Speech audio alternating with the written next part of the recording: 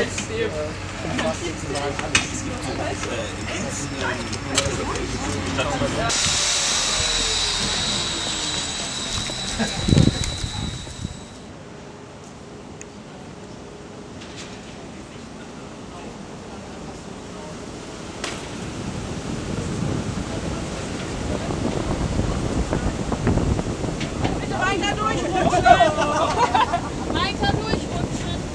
Martina, möchtest du mitmachen? Ja, aber es geht jetzt hier. Ja, das wird noch Sieht aber gut hier. nachher beim Ausfahren wird ja. Also es ist krasser in Konrad. Jetzt ist ein bisschen mehr Platz. Krasser in. Also Bitte nicht an den roten Knopf kommen. Druck.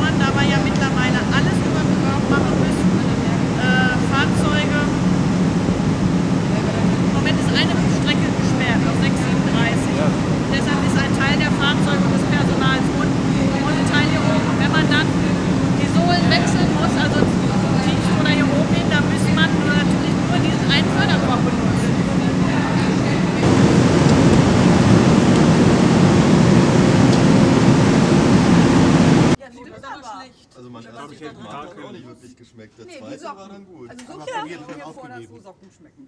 schmeckt es nicht. Gar nicht probiert. Wahrscheinlich ist das der Ja, so Martin und appetitlösende so Effekt probiert. Martin. Nee, ich meine Socken. Dann aufgrund der Bewegung ab und zu bilden sich solche Abschalungen, die muss man wegschneiden. Das Problem ist bei allen Dingen, und das ist die älteste Sohle des Bergwerks, die 750 Meter Sohle, irgendwann kann man nichts mehr wegschneiden, weil nichts mehr da ist. Das ist natürlich hier gerade beim Betrieb dieses Bergwerks, was eben ein extrem altes, ein extrem äh, intensiv ausgebeutetes Bergwerk ist, eines der zentralen Probleme beim Betrieb der Anlage. Und hier können Sie eben sehen, wie dann eben entsprechend durch den Gebirgsdruck, entsprechend durch die Verformung des Salzes, dann entsprechend solche Risse, Wirksamkeiten entstehen können.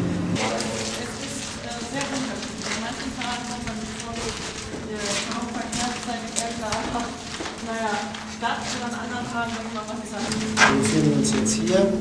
Hier ist der Norden, der Kalibereich und hier, wie ich eben als äh, Schlittschuhkufe bezeichnet habe, die Einladungskammer in der Südflanke. Wir gehen jetzt zur Einladungskammer 7. In diesem Bereich haben wir diesen Arbeitsbereich aufgebaut, wo die Bohranlage steht, in der wir dann in der ersten Bohrung im Rahmen der Faktenlegung durch das Verschlussbauwerk, das etwa 20 Meter lang ist, in die Einladungskammer hineinbohren wollen. Der Sumpf von Kammer 12 ist hier, hier befindet sich ein Gittertor.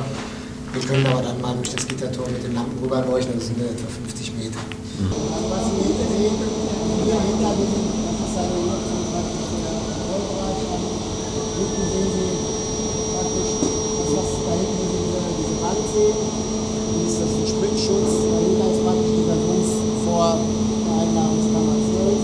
Der Spritzschutz ist da, weil dort an einem Ecke, wir das eben vorne auch gesehen hatten, ist praktisch ein Gesteinsbrocken, der sich ein bisschen schon gelöst hat. Und falls der runterfallen sollte in den Sumpf, könnte Wasser praktisch rausspritzen, um da zu verhindern, dass wenn Mitarbeiter dort tätig sind, dass die praktisch normalerweise interveniert sind. Aber das, wie gesagt, dahinter praktisch befindet sich dann die Einladungskammer 12. Und diesen Sumpf gilt es zu sanieren, bevor wir mit der Verantwortung vor der Einladungskammer 12 anfangen. Man hat 1967 hier in der Einladungskammer 4 angefangen, Stehen zu stapeln, jeweils 4 x 4, später 5 x 5 Fässer, jeweils dann auch 4 bzw. 5 Fässer hoch. Ist dann zu dieser Liegenstapelung übergegangen, die man insbesondere hier in diesen Kammern äh, eingesetzt hat, ähm, wo man eben die praktisch ähm, die Weinfässer übereinander gestapelt hat. Dann ist man in den 70er Jahren, Mitte der 70er Jahre zur Versturztechnik übergegangen. Das heißt, man hat die, die Abbaukammern hat man die unteren Eingänge hat man versetzt und hat dann oben praktisch einen Zugang geschaffen an der, unterhalb der Decke, hat eine Salzhalde gebaut, dass man praktisch so eine abschüssige Strecke hat und hat dann mit den Radladern die Fässer praktisch über den Abhang runtergeschickt, wieder Salz drüber, wieder Fässer, wieder Salz, sodass man dann praktisch sukzessive die gesamte Kammer verfüllt hat und hat dann auf der dann entstandenen Salzfläche hat man dann in den meisten Kammern diese sogenannten verlorenen Betonabschirmungen eingelagert. Hier befindet sich praktisch ein Metallfass drin, das zur Senkung der Ortsdosisleistung an der Fassoberfläche, die ausschlaggebend war für die Kategorisierung des Abfalls, dann ähm, ähm, einen Betonmantel umgeben hat mit einer Wandstärke von, Stärke von 25 cm. Aber das Problem ist, wir wissen ja hier, die Fässer sind mit Feuchtigkeit in Kontakt. Das heißt, man kann hier davon ausgehen, dass zum Beispiel, Fässer natürlich verrostet sind, ja, auf der anderen Seite hat man hier zwei Meter Platz zur Decke gelassen, als man die Kammer verschlossen hat, hat die Resthohlräume nicht verfüllt. Wir können aber aufgrund des Zusammenwachsens der Grubenbaue davon ausgehen, dass entweder zum Teil diese zwei Meter schon aufgebraucht sind oder aber sich ähm, Gesteinsbrocken, größere Gesteinsbrocken auch von der Decke gelöst haben und hier auf die Fässer draufgefallen sind. Okay, aber der, der Großteil ist sozusagen diese Versturzmethode dann, die wahrscheinlich. Der Großteil der Fässer ist mit der, also das hat einfach damit zu tun, wir haben natürlich, also man hat ja auch einen, wenn Sie sich die Einlagerungszahlen pro Jahr angucken, dann hat man sagen wir, einen deutlichen Anstieg äh, in den letzten Jahren gehabt, wo es auch um Entsorgung ging. Und äh, man konnte natürlich mit, mit, wenn Sie hier einzelne Fässer stapeln, haben Sie natürlich, ich sag mal, eine ganz andere Geschwindigkeit, als wenn Sie immer acht Fässer vorne auf so Ja. Schaufel haben, die dann da runterfallen müssen. Wir gehen davon aus, dass ein Großteil der Abfälle nicht mehr, klar, dass die defekt sind. Äh, wie weit sind dann auch, ich sag mal, diese, das, dieses Gemisch aus Abfällen und äh, Konditionierungsmaterial, zum Beispiel Zement, inwieweit ist das noch intakt? Äh, wie weit ist der Versatz verdichtet um die Fässer rundherum? Und auch hier wird man natürlich, die, die Fässer werden hier wahrscheinlich nicht mehr so stehen, wie sie hier gestanden haben, sondern die werden, wenn sich die Sohle aufwölbt sozusagen, dann werden die Türme natürlich ineinander gefallen sein. Wenn Lösungen in der Kammer sind, dann muss man davon ausgehen, dass auch entsprechend, ähm, ähm, Fässer beschädigt sind. Aber das ist genau der Punkt, den wir eben herausfinden wollen, weil wir eben, die, die Abfallkammern sind halt schon lange verschlossen und wir können eben nicht genau sagen, in welchem Zustand die sich Wenn, auch hier bei diesen verlorenen Betonabschirmungen ist eben das, wenn das Ding bis unter die Decke gestapelt worden, wenn die Grubenabbaue zusammengedrückt werden, dann irgendwann nicht das Gebirge auf die Gebinden auf mit diesem enormen Druck und dann können die natürlich beschädigt sein und das würde natürlich dann die Abschirmwirkung aufheben. Ergebnisse anhand von vorher festgelegten Kriterien. Ähm, dann Schritt 2, Öffnen der Kammern, äh, entsprechend neue Untersuchungen. Ähm, und Auswertung der Ergebnisse an vorher festgelegten Kriterien. Drittens Bergen der Fässer dann, also erster Fässer, probeweises Bergen und Auswertung der Ergebnisse an vorher festgelegten Kriterien. Ähm, Das hier nur mal noch mal kurz als Schema zu den Einlagerungskammern.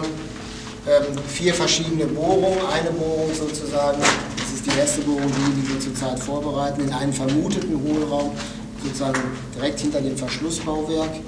Dann eine Kammer, eine Fächerbohrung in die Decke, also in die, in die Schwebe der Kammer, um zu gucken, mit Radarmessung, ob es im hinteren Bereich der Kammer noch Hohlräume gibt. Wenn es die gibt, dann entsprechend Anbohren dieser Hohlräume. In diesen Hohlräumen dann entsprechend Durchführung von Messungen. Also äh, gibt es toxische Gase, gibt es explosive Gase, äh, wie ist die radiologische Situation in der Kammerluft. Dann eine Bohrung in die Sohle, also unterhalb der Kammer, dort geht es vor allen Dingen darum, stehen dort Lösungen an, also Salzlösungen. Wenn dort Salzlösungen ansteht, sind die Salzlösungen, haben die bereits in Kontakt mit den radioaktiven Abfällen gestanden, wo kommen die Salzlösungen her? Und dann als letztes die Bohrung sozusagen rechts und links, also nicht in die Abfälle, ganz wichtig, sondern rechts und links, deswegen ist sie gestrichen, in die, ähm, in die Seitenwände der Kammer, um zu gucken, in welchem Zustand befindet sich das umgebende Gesteinsmaterial wie wäre das denn jetzt äh, zu sehen, wenn Sie jetzt äh, parallel arbeiten müssten an verschiedenen Kammern? Zurzeit ist vorgesehen, erstmal. Ist das überhaupt möglich? Ja, zurzeit ist es einfach, was zurzeit gemacht wird, ist, dass wir die Probenphase durchführen und jetzt geht es erstmal darum, den Schritt 1 haben wir ja eine Genehmigung nach Atomrecht, ja. die wollen wir auch nicht loswerden. Und es geht dann darum, da wird ja zurzeit über diskutiert, wie man dann das weitere Verfahren durch gesetzliche Schritte etc. beschleunigen kann. Das ist jetzt das, was wir da man noch sehen, dass welche Lösung dann sozusagen in den Diskussionsprozess rauskommt. Für uns entscheidend als Betreiber ist, ähm, welche Lösung, also welche Rahmenbedingungen werden uns geboten, um möglichst schnell und bei gleichem Schutzniveau für die Beschäftigten sozusagen unsere Arbeit hier machen zu können.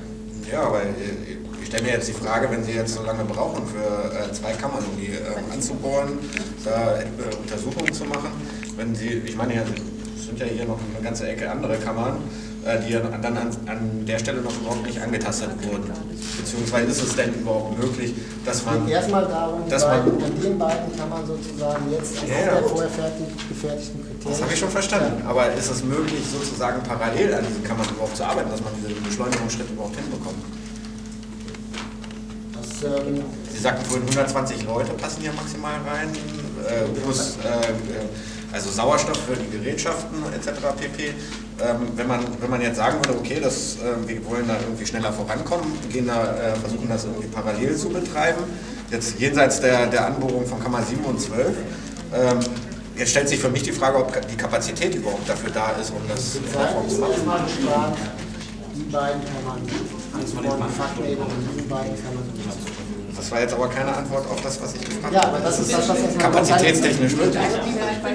Das heißt, dass man hier parallel möglicherweise arbeitet. Ähm, das war zumindest ein Gesprächsthema auf dieser. Ja, genau, das ist aber genau, die, wir haben ja zurzeit eine Diskussion, wo es um Genau, es gibt eine Diskussion. Ich versuche.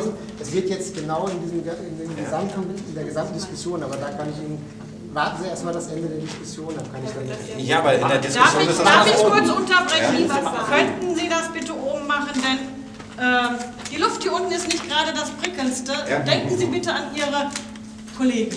Und ja, ist okay. Ich möchte eigentlich nur wissen, ob das äh.